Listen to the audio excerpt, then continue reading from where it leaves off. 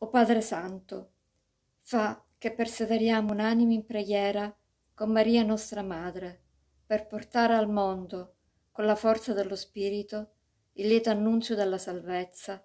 Amen.